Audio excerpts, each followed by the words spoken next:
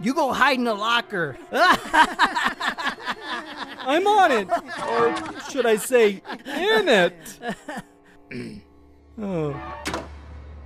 Hello, Dwight. Uh, hi, and you are? The killer, you idiot. Oh, right. What's your favorite scary movie? Um, The Little Mermaid. The little what? Ursula was terrifying. Ursula was hilarious! You little snot!